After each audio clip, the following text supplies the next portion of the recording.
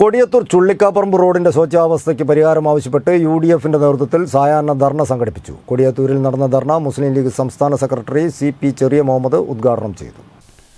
Kodiyathur Chullikkaparamba road നവീകരണത്തിൽ കൊടിയത്തൂരിനോടുള്ള കടുത്ത അവഗണനയിലും പ്രവൃത്തിയിലെ മെല്ലപ്പോക്കിലും പ്രതിഷേധിച്ചാണ് U D F Kodiyathur panchayat കമ്മിറ്റിയുടെ നേതൃത്വത്തിൽ സായാഹ്ന ധർണ സംഘടിപ്പിച്ചത്. കൊടിയത്തൂർ അങ്ങാടിയിലാണ് സമരം നടന്നത്. സമരം മുസ്ലിം ലീഗ് സംസ്ഥാന secretary C P Cheriya Muhammad ഉദ്ഘാടനം ചെയ്തു. കൊടിയത്തൂർ വഴി എങ്ങോട്ടും പോവാനോ പ്രദേശവാസികൾക്ക് പുറത്തു കടക്കാനോ പറ്റാത്ത അവസ്ഥയാണെന്നും മഴ പെയ്താൽ ദുരിതപൂർണമാണ് ജനങ്ങളുടെ അവസ്ഥയെന്നും അദ്ദേഹം പറഞ്ഞു. എത്രയും വേഗം റോഡ് നവീകരണം പൂർത്തിയാക്കണമെന്നും അല്ലാത്തപക്ഷം ജനകീയ പ്രക്ഷോഭത്തിന് നേതൃത്വം നൽകുമെന്നും അദ്ദേഹം പറഞ്ഞു.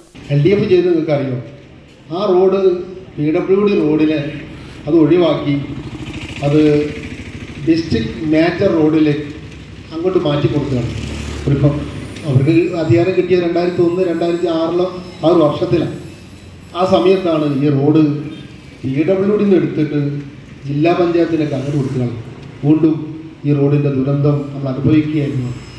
അത് വീണ്ടും കുടിയത്തൂർ പഞ്ചായത്ത് യു ഡി എഫിന്റെ ഭരണം വന്നുകൊണ്ട് അത് യു ഡി എഫിൽ തന്നെ സ്വാധീനിച്ചുകൊണ്ട് അത് മാറ്റുകയും അത് പി ഡബ്ല്യു ഡി റോഡാക്കി മാറ്റിയത് കൊണ്ടാണ് മൊയ്ബുട്ടി സാഹിബ് അദ്ദേഹം ജനപ്രതിനിധിയായി രണ്ടായിരത്തി പതിനൊന്ന് പതിനാറ് കാലഘട്ടത്തിൽ മുക്കം ജംഗ്ഷനിൽ നിന്ന് ഇതുവരെ കോട്ടാട് കയറുന്നുള്ളൂ കയറുന്നോട് തന്നെ അവിടെ നിന്നുപോയി.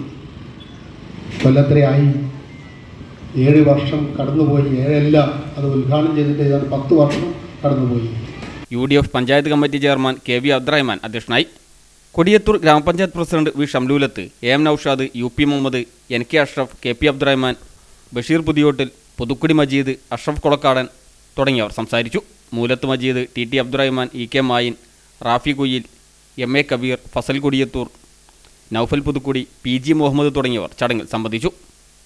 News bureau Mukkam.